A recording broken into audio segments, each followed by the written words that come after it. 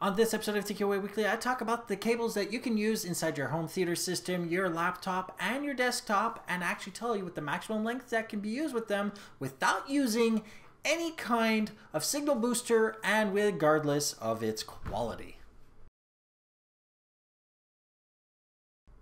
My name is Steve Smith. This is TQA Weekly, and of course, you can always shoot me an email at ask at tqaweekly.com if you have any questions, comments, and even suggestions for topics. And you can always find me on Twitter, that's at Z-E-D-A-X-I-S. You can find me on Facebook, facebook.com slash Z-E-D-A-X-I-S 1981. And of course on Google Plus, that is Steve Smith 1981. Or you can go to tqaweekly.com where you can interact with others on previous episodes, shoot me an email by the contact form, or even go to the subscribe option to see every single way you can find me on the internet for my shows and my social networking information. This episode is about the maximum length of cable you can use your laptop, desktop, home theater system, regardless of its length, uh, regardless of its quality, excuse me, and without a signal booster whatsoever. So basically, generic cables, maximum length you can use with them, no particular order whatsoever. So we're going to start off with the USB cable, which is the most common cable going to be in the house, usually at about 100 milliamps.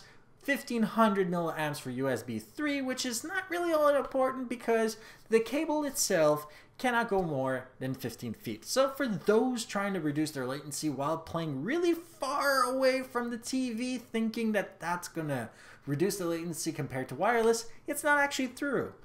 At those distances, you are better off going wireless. In the case for those like me who have a sound system that have the optical toslink option, you actually cannot go really much further than 5 feet. The specification says 10. In practice, it's always been limited to about 5 feet without any option. However, for those that say that SPDIF Digital coax option is better. It is only better if you don't expect anything more than 1 meter 3.5 feet. Designed for hi-fi racks, it has that very specific length because of the way hi-fi racks actually were designed at that point. For your Ethernet cable, I know wireless exists, but for your Ethernet cable, expecting 10, 100, and even 1000 base Ethernet connection over Cat6 cable means that you cannot exceed 100 meters or 320 8 feet, which is still quite far. And this is the longest cable you're going to get on this entire list. For those who like their HDMI cable, their 1080p, and of course their 3D, your HDMI cable cannot exceed 25 feet, but if your media player is 25 feet away from your television, how do you deal with the remote? Literally.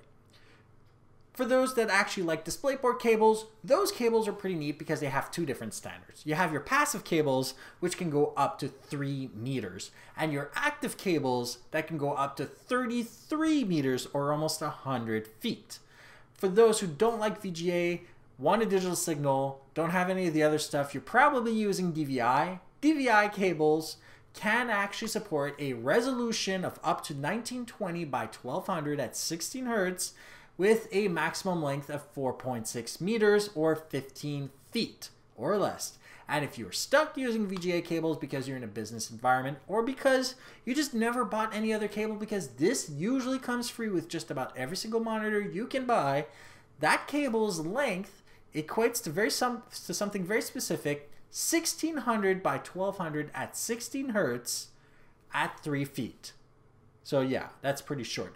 That's all of the cables you will generically use with any home entertainment system, computer, whether it be tower or laptop, or anything else in that kind of environment. So, if I forgot anything, which I don't think I did, but if I did, you can always drop that down below if you're watching on YouTube, Vimeo, or blip.tv. And of course, you can always send that to tqaweekly.com on that specific episode page. That is tqaweekly.com slash SE5EP20.